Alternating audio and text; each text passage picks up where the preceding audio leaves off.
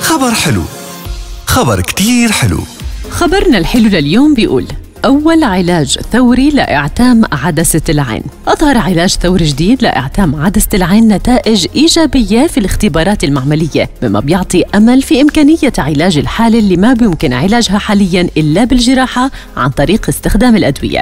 وإعتام عدسة العين هو غشاوة في عدسة العين بتتطور بمرور الوقت وبتأثر على جودة الرؤية. بيتسبب اعتام عدسة العين في فقدان البصر والعمى لملايين الأشخاص حول العالم. خبر حلو. خبر كتير حلو. ما تنسوا تعملوا like share subscribe وتشغلوا جرس التنبيهات لمزاج FM. أحلى إذاعة يا مزاج.